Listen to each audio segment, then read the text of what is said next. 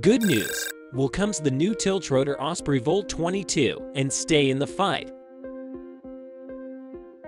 Digital interoperability upgrades improve the command and control system of the Osprey and allow it to network with other assets during flight.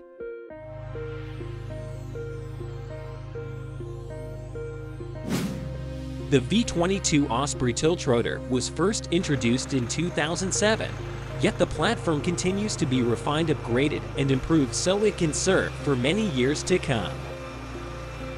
Adjustments to the aircraft include routine maintenance, replacements of electronics, avionics, and communication equipment.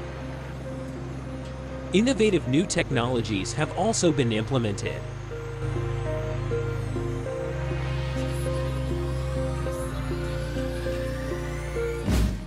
One of the most impactful innovations is the integration of a new command and control system called digital interoperability.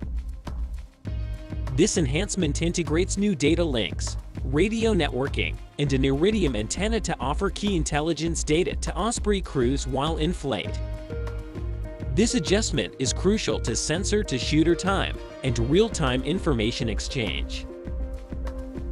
Osprey crews and traveling Marines can receive intelligence updates while en route to an objective and make critical adjustments.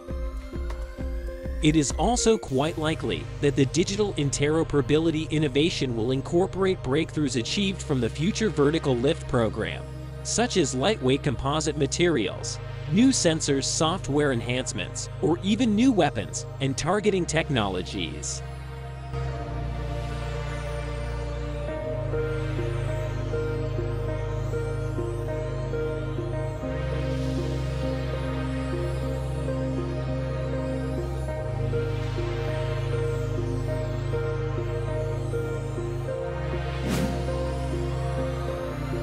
Given that, the airframes themselves are likely to hold up for many years, V-22s will benefit from upgrades to electronics, computing and software upgrades. This one reason why the Navy is extending its maintenance and sustainment contract with Bell Boeing for the Osprey.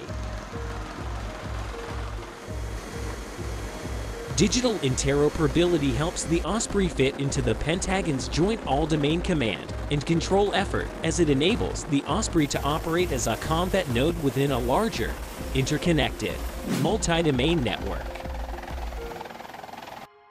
The Osprey could send targeting specifics of enemy surface ships, aircraft, or incoming ballistic missiles to ship-based command and control, nearby fighter jets or ground assets.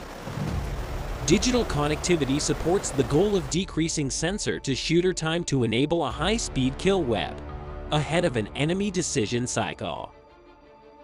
In yet another scenario, an approaching to enable Osprey carrying Marines can learn of shifting enemy movements, while en route to a mission in time to change targeting details or landing information. This kind of technological ability could be crucial in mounted vertical maneuver missions in which Marines are brought into hostile territory behind enemy lines to conduct clandestine attack and resupply missions, medevac, reconnaissance operations, or weapons delivery.